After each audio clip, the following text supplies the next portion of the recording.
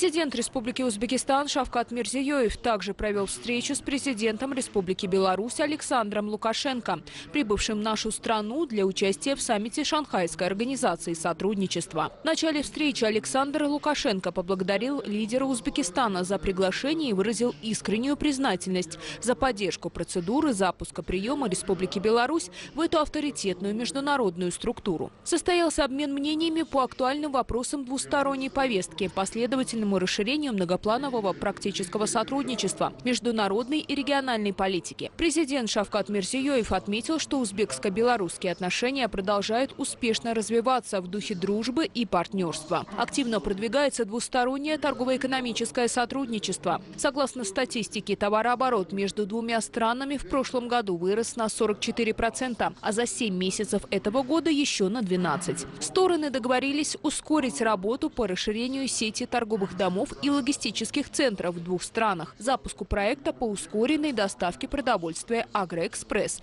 внедрению электронной системы сертификации происхождения товаров. Лидеры Узбекистана и Беларуси подчеркнули необходимость продвижения взаимовыгодного партнерства в сфере промышленной кооперации, машиностроении, агропромышленном комплексе, химической, фармацевтической и электротехнической отраслях. Отдельно отмечена важность дальнейшего использования потенциала регионов двух стран. Глава нашего государства предложил провести второй межрегиональный форум в Узбекистане. Стороны с удовлетворением отметили активное развитие сотрудничества в культурно-гуманитарной сфере, в первую очередь в образовании и кинематографии.